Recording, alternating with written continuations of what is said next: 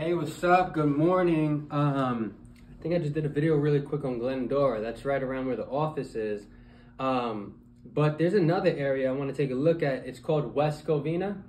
And in West Covina, it's insane. You were able to buy a house in this area for like 600, 700K a couple years back. And I'm talking about like two years ago, right before this crazy pandemic of what we like to call the unicorn year. Um, and it's crazy. I mean, we're still seeing low inventory. So it means that prices are not going to dramatically drop like they did before. Uh, give you a heads up, like in 2008, there were like 18,000 houses for sale. Uh, just in like Orange County right now, they're only hovering around 4,000. So even though there's not a lot of buyers out there because of the higher interest rates, there's not a lot of inventory up for sale. Um, so we're still seeing these prices kind of steadily uh, continue.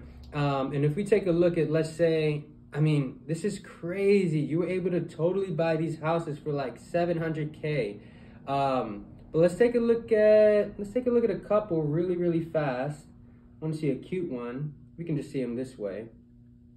Kind of pull them out here. Oh, maybe that didn't load fast enough. So let me just go ahead and let's jump on.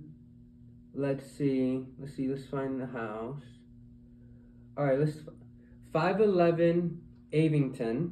Uh, this one was on the market for five days. It's a four bedroom, two bath, 1,500 square feet. Now, um, I'm not trying to throw no shade, but it's a little dated, the property, uh, and it was still able to get 850. Um, let's take a look at this. I mean, this is crazy, but you know, I want to make this video so you have a gauge of what your house may be worth if you do decide to sell. And uh, don't forget, there's a link in the description below. You can go ahead and click on that. It's going to give you your home value. And you can kind of have an idea of if you wanted to sell, what the property can sell for. Also, my info should be attached there if you have any further questions you want to ask or you just want to know about how the market's doing. But let's continue to take a look. I mean, nice driveway. Um, I like the fact that you have this open yard in the front. The backyard seemed, I take a look, but okay, I mean, decent it looks like whoever's gonna come in here is gonna have to do a remodel.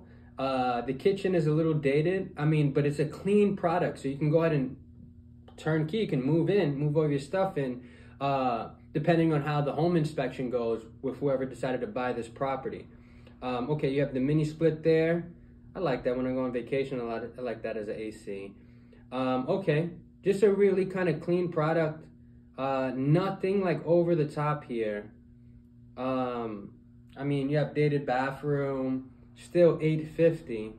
Backyard was big. I mean, this was crazy. I cannot believe it's actually sold for 850. 567 a square foot. The lot is huge though. It's about 9,000.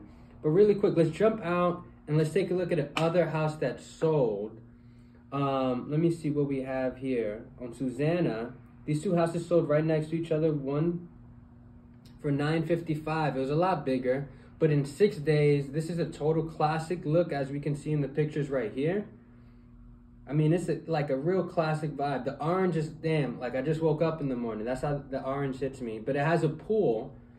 And the lot size, lot size for this one was pretty big. Yeah, another 10,000 lot. But you can see their backyard is finished. Um, definitely use this stuff as comparables when thinking about what your house is worth.